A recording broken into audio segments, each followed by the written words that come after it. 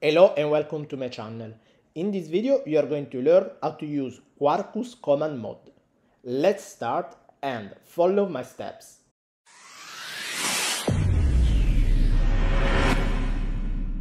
I have already created a Quarkus project without any special dependencies as you can see inside the POM XML. For this video I'm going to use Quarkus version 2.5.3. I've also created an empty Java class called application main. To use Quarkus command mode, you have to add the annotation Quarkus main on the top of the application main class and this class must implement the Quarkus application. With that, you have to implement the run method.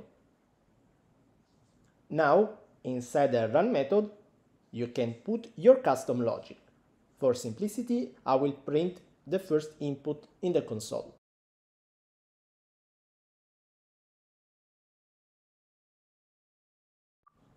Let's run the project in development mode, adding the parameter minus d quarkus.args and inside a quote the input to printing console.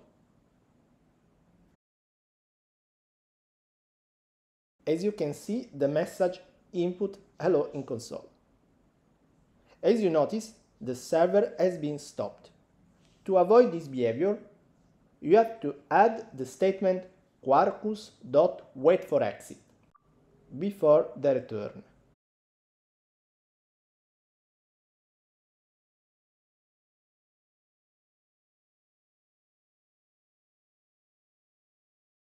Now you can see in the console the message and still the server is running. To improve the project, you can create a new Java class like application controller in the same package.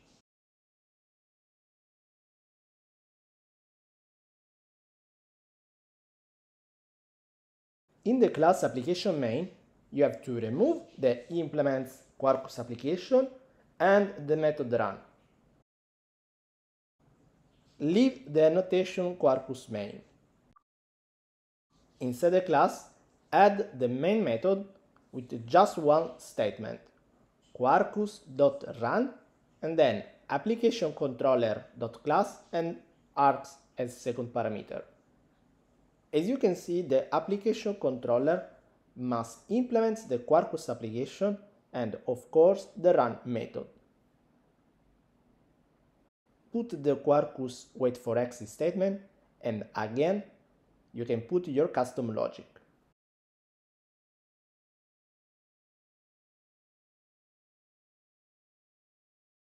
Let's run it with a different input. Good, it's working also in this way. In the end, I want to show you you can inject a custom service in command mode. Let's create a new Java class application service in the same package. Let's add the annotation application scope and create a new method like getMessage.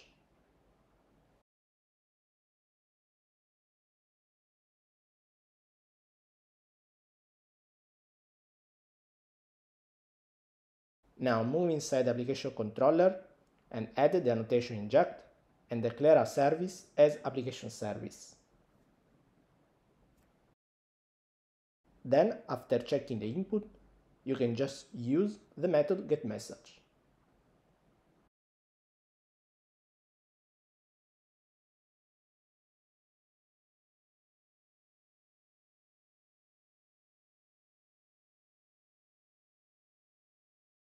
Let's try in the console. Yes, it's working. In this video you have learned how to use Quarkus command mode.